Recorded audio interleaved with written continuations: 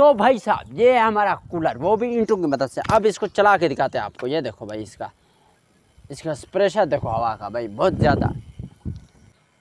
तो भाई अंदर का कुछ इस तरह से सीन है। हम लोगों ने इंटू वगैरह लगा दिया, इसके ऊपर पानी वगैरह मार दें तो बहुत ही ज़बरदस्त और ठंडा हवा देगा भाई। ये देखो